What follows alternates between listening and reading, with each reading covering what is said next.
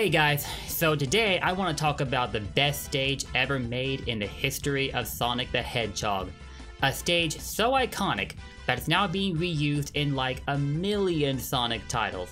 Yes, that's me exaggerating, but the point is still there. Heck, this stage laid out the foundation for the existence of Sonic, for the origins of Sonic. And that, my friends, is Green Hill Zone. And yet I'm getting so sick of seeing it. What is wrong with me? Nah, but all kidding aside, although I'm not really kidding about how often Green Hill's being reused, but yeah. we do have some Green Hill related stuff to go over for Sonic Frontiers in this video. Players at EGX London have been able to discover a 2D variant of the iconic stage, and it features elements borrowed directly from Green Hill Act 1 in Sonic Generations, a stage initially intended only for Sonic's classic self.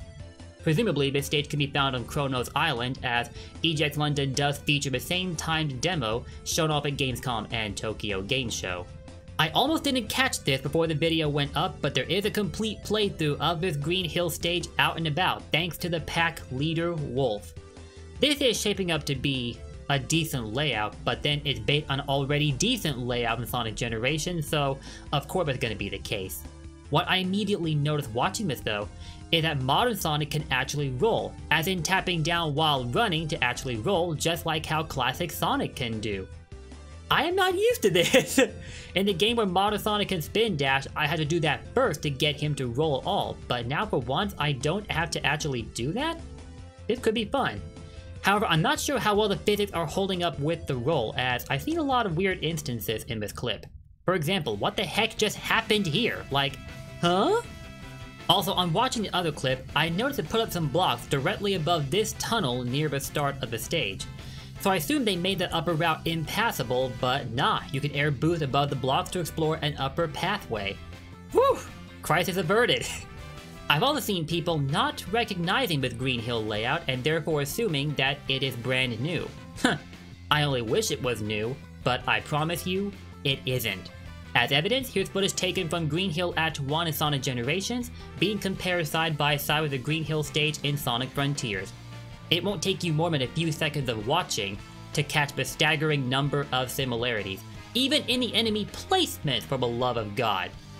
As already been established by Sonic Team, cyberspace is meant to borrow heavily from Sonic's legacy stages, layouts and all.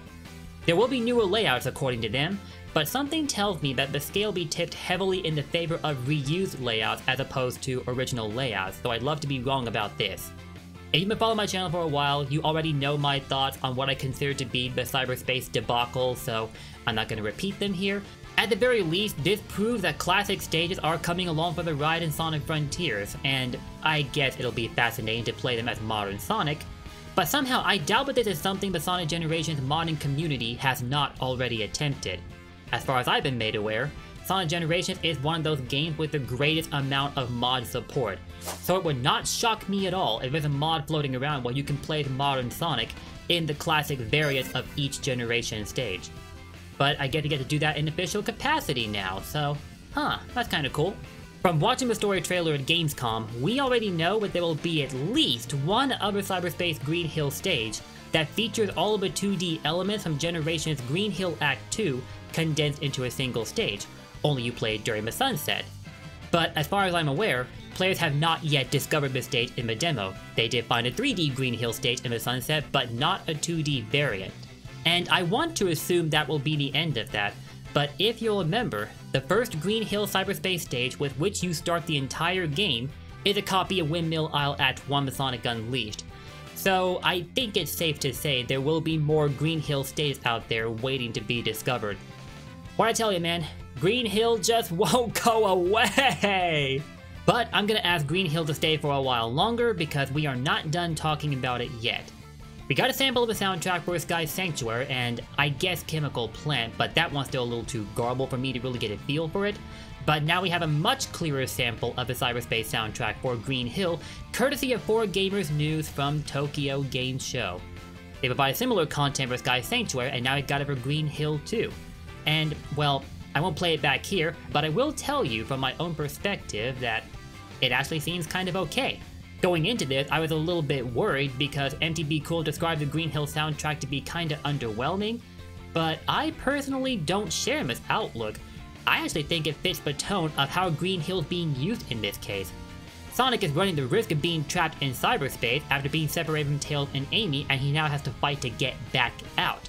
And if you listen closely to the soundtrack, you can even hear monologue that appears to be based on Sage's mindset.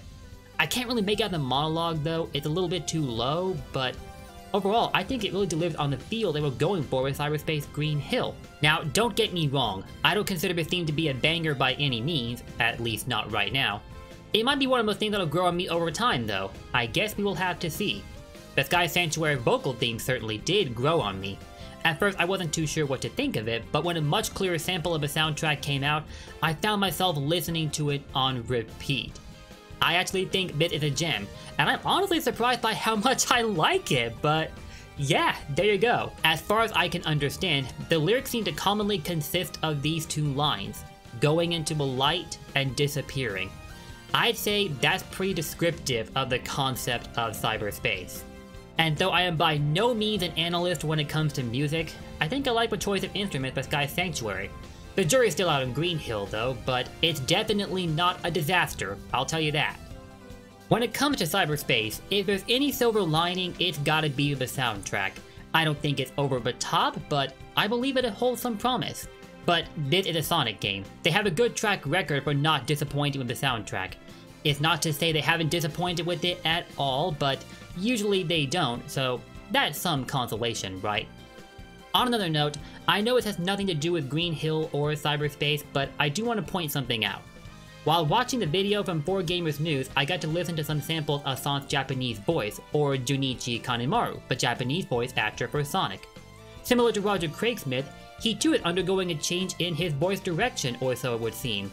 As I'm listening to Sonic here, we're getting a much grittier sounding blue hedgehog, no, not like Dark Sonic vibes from Sonic X or anything like that, but all kidding aside, Junichi Kanemaru is definitely holding it down with Sonic, as he normally does considering he's always been one of the best voice talents for the Blue Hedgehog, so I was never really worried about him.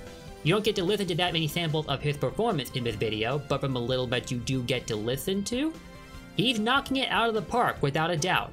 Speaking of which, people who have played Sonic Frontiers at EGX London have reported being just as blown away by Roger's performance with Sonic. And though I was initially split down the middle on it, I like certain parts of Roger's work, but others I'm still up in the air about. For people to be happy with it, that's definitely promising to hear. And they've also reported smiling from ear to ear when it came to being treated to elements of the Sonic Frontier storyline.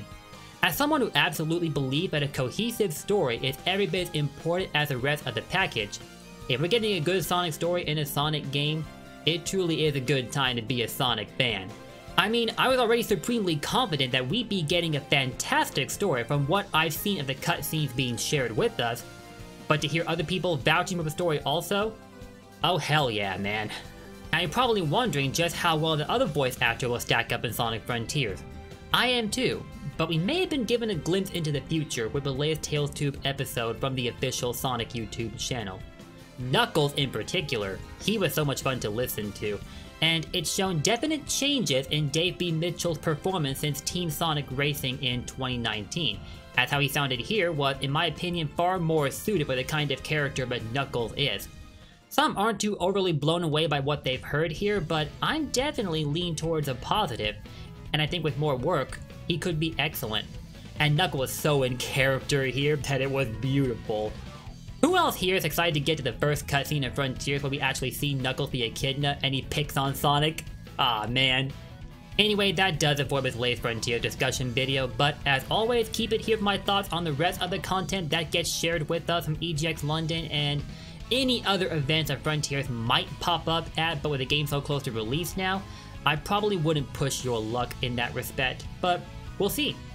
Thank you so much for watching. If you enjoyed this video, drop those likes and comments, and don't forget to sub and ring that bell for more Sonic videos. And thanks to everybody who shared their content that's been featured here in this video. All credits will be given where they are due, and the original sources will be linked in the description below. Take care guys, and I'll see y'all next time. Peace! Don't forget, blue blurs for life. Take care.